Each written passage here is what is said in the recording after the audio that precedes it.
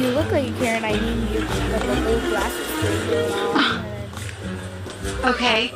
Next time I'm going to Duncan and I'm gonna tweet about this. You script acting challenge. I may give feedback on your video.